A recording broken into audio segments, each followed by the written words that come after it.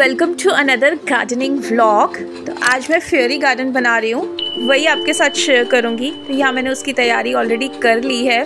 मेरे पास ये सब चीज़ें पहले से थी और काफ़ी टाइम से मैं बनाने के लिए सोच रही थी। मुझे नर्सरी जाना था, कुछ स्पेशल से प्लांट्स लेने।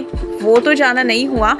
तो फाइनली मैंने डिसाइड किया कि जो मेरे पास प्लांट्स हैं, उसी से बनाते हैं। तो आइए देखते हैं मैं कैसे बनाती हूँ इसको।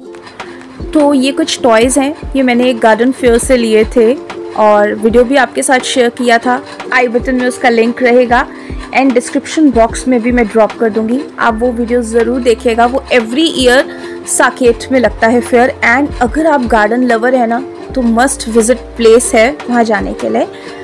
तो ये कुछ टॉयज़ थे, मैंने वहीं से लिए थे। ये हैं, साथ ही प्लांट्स देख लेते हैं। तो मैंने, आप देखेंगे कि सकलेंस ही लिए हैं ज़्यादातर प्लांट्स क्योंकि एक तो इनकी रूट्स बहुत शेलो होती हैं और पानी इनको बहुत ज़्यादा रिक्वायर्ड नहीं होता है तो आपका सेटअप इजीली ख़राब नहीं होता है।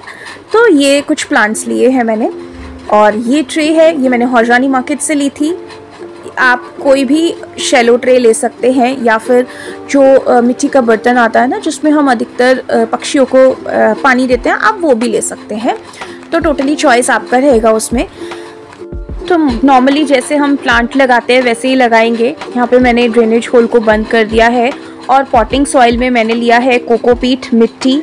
इस मिट्टी में ऑलरेडी कोकोपीट डला हुआ है और नीम कवच है ये। ये ऑर्गेनिक खाद है, ये मैं ऐड कर रही हूँ इसमें। तो ये एक अच्छा सा पॉटिंग सॉइल बना लिया है मैंने, जिसमें 40 परसेंट कोकोपीट है 20 परसेंट गार्डन सॉइल है और 40 परसेंट ही खाद है, यानी वर्मी कंपोस्ट या काउडंग मैन्योर आप कुछ भी ले सकते हो। तो अच्छे से मिक्स करके फैला लेंगे अच्छे से। और उसके बाद जितने भी बड़े वाले हाइट के प्लांट्स हैं ना आपके पास, वो आप पीछे की साइड लगाइएगा और छोटे वाले प्लांट्स आगे लगाइएगा ताकि सारे टॉयज़ और प्लांट्स आपस में कोऑर्डिनेट कर पाएँ और विजिबल रहें छोटे छोटे टॉयज़ इजीली बड़े प्लांट्स के पीछे छुपे ना। तो यहाँ पर सबसे पहले मैं जेड प्लांट लगा रही हूँ और जेड प्लांट ना बॉन्जाई में या फिर फ्योरी गार्डन में बहुत अच्छा लगता है, क्योंकि एक छोटा सा ट्री का शेप ले लेता है ये। तो अरेंजमेंट और सेटिंग्स ना आपको दो तीन बार चेंज करनी पड़ेगी। मैंने आप देख सकते हैं लेफ़्ट हैंड साइड पे पहले जेड प्लांट को लगाया, पर उसके बाद इसको मैंने शिफ्ट कर दिया सेंटर में। और इसी तरीके से बाकी प्लांट्स भी लगाए पर्पल हार्ट भी लगाया था। तो वो चॉइस टोटली आपका है। आ, लगाने के बाद आपको कैसा लग रहा है उसके अकॉर्डिंगली आप उसमें चेंजेस कर सकते हो। तो नेक्स्ट मैं यहाँ पर एलोवेरा ले रही हूँ और उसमें भी जो बड़ा वाला प्लांट है उसको हम पीछे की साइड रखेंगे। छोटे वाले प्लांट को उसके आगे की साइड रखेंगे। तो यहाँ पर मैंने जो फेरी गार्डन में प्लांट्स यूज़ करे फाइनली वो थे jade aloe vera mother of thousand और अजवाइन पर्पल हार्ट और रियो मैंने नहीं लिया क्योंकि वो सेटिंग उतना अपीलिंग नहीं लग रहा था। तो इसी तरीके से आप भी, जो भी आपके पास प्लांट्स अवेलेबल हैं, आप वो ले सकते हैं और उसको लगा के सेट करके देख सकते हैं। तो प्लांट्स सेट हो गए हैं। अभी जो भी मिनिएचर टॉयज़ है ना क्यूट से हमारे, उनको भी अरेंज कर लेते हैं। तो यहाँ पर मैंने सबसे पहले बुद्धा जी शेड प्लांट के नीचे बिठा दिए हैं। तो अब मेरे पास कुछ स्टोन्स हैं। स्टोन से मैं पूरी मिट्टी कवर कर दूँगी। अगर आपके पास वो जो सैंड स्टोन आते हैं ना, बारीक वाले तो वो भी ले सकते हैं आप। उससे ना आप रिवर का और एक ग्रास का कॉम्बिनेशन बना के भी बहुत अच्छा फ्योरी गार्डन बना सकते हैं। मेरे पास फ़िलहाल ये वाले स्टोन थे, जो कि इजीली आपको गार्डन एक्सेसरीज़ जहाँ पे मिलती है, वहाँ पे भी मिल जाएँगे और एक्वेरियम शॉप्स पे भी मिल जाएँगे। तो मैं आज इसी का यूज़ करके बना रही हूँ। स्टोन लगाने के दो बेनिफिट्स रहेंगे। एक तो ये ब्यूटीफुल लगेगा और दूसरा मॉइस्चर को अच्छे से सोख करके रखेगा। अगर आप इन पत्थरों पे भी स्प्रे से पानी देंगे ना तो प्लांट्स तक भी पहुँच जाएगा और काफ़ी दिनों तक आपको पानी देने की ज़रूरत नहीं पड़ेगी। और प्लांट्स तो हमने ऐसे ही चूज़ करे हैं, जो जिनमें ऑलरेडी वाटर जो होता है वो रिटेन रहता है। तो उसमें बहुत ज़्यादा देर तक मतलब बहुत ज़्यादा पानी देने की आपको ज़रूरत नहीं पड़ती है।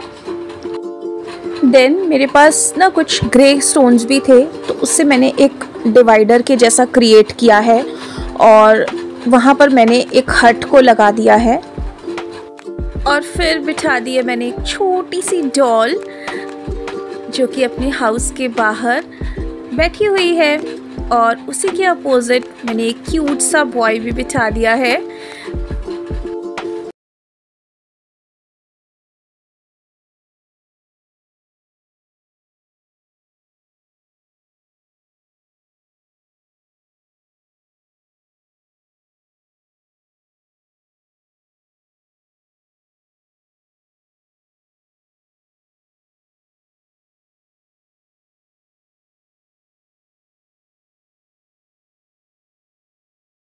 फिर मैं फेंस लगा के ट्राई कर रही हूँ किस तरफ़ अच्छा लगेगा। तो यहाँ पर मैंने एक डिवाइडर के जैसा स्टोन से तो क्रिएट किया ही था।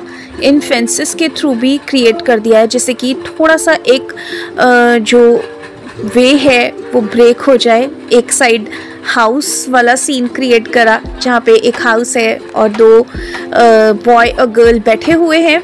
और दूसरी साइड हमारे बुद्धा जी तो दोनों सीन्स जो हैं वो थोड़े से डिवाइड हो गए और ये हमारे ट्रे गार्डन का फाइनल लुक तो इसमें वाटरिंग करने के लिए स्प्रे का यूज़ करें। स्प्रे बॉटल से बहुत इजीली पानी भी रूट्स तक पहुँच जाता है और जो हमने पत्थर डाले हैं, उससे मॉइस्चर भी बना रहेगा और आपका सेटअप भी नहीं बिगड़ेगा। तो इस तरीके से पत्थर पे और प्लांट्स के साइड में स्प्रे से अच्छे से आप इसमें पानी दे सकते हैं। और अगर आप गार्डनिंग में न्यू हैं तो इस तरीके से गार्डन में फेरी गार्डन ज़रूर ऐड कीजिएगा। बहुत ही ब्यूटीफाई कर देता है किसी भी कॉर्नर को या किसी भी गार्डन को। एक फेरी गार्डन तो हर एक गार्डन लवर के पास ज़रूर होना चाहिए। अगर आप इससे अग्री करते हैं तो मुझे कमेंट सेक्शन में ज़रूर बताइएगा। सो so, अगर आप चैनल पर फ़र्स्ट टाइम विज़िट कर रहे हैं ग्लिम्स ऑफ़ हैप्पीनेस फैमिली का मेंबर नहीं है तो चैनल को प्लीज़ सब्सक्राइब ज़रूर कीजिएगा।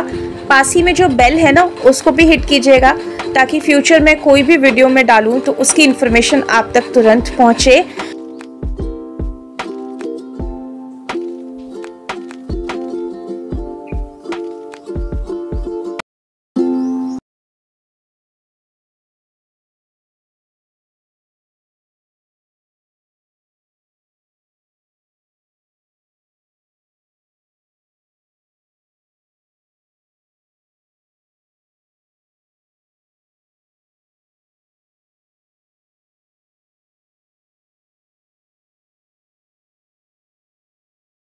तो आई होप ये छोटा सा फेरी